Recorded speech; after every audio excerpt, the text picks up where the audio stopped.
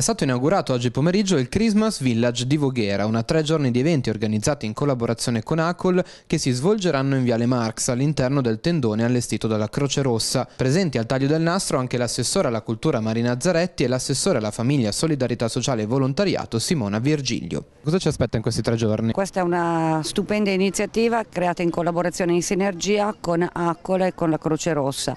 È un ulteriore momento di aggregazione di, per socializzare socializzare, per stare insieme, si esibiranno diverse realtà artistiche della nostra città, è un momento natalizio per festeggiare insieme. Ci sono anche dei banchetti, quindi anche un piccolo mercatino, che, un mercatino interno naturalmente di beneficenza che eh, comunque accompagna quelle che sono tutte le altre iniziative natalizie, infatti in Piazza Duomo c'è il mercato di Confesercenti, poi tutte le altre iniziative attivate dai commercianti e con i commercianti. Ha una finalità benefica, il Christmas Village, appunto in collaborazione con la Croce Rossa italiana, il Comune ha dato il patrocinio a questa iniziativa, quindi ha collaborato c'è una finalità benefica, appunto vengono raccolti beni eh, che poi verranno distribuiti questo d'opera dei commercianti, sono, ci sono diversi espositori all'interno del, del padiglione e quindi il comune come dicevo ha dato, ha dato sicuramente il, il patrocinio.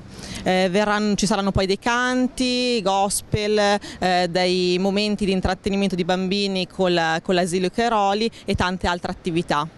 Quindi un modo per coinvolgere i cittadini anche in questo periodo natalizio. Esatto, quindi per la famiglia, io sono assessore alla famiglia, eh, è un ottimo momento di ritrovo in attesa del Natale, quindi in questa atmosfera natalizia.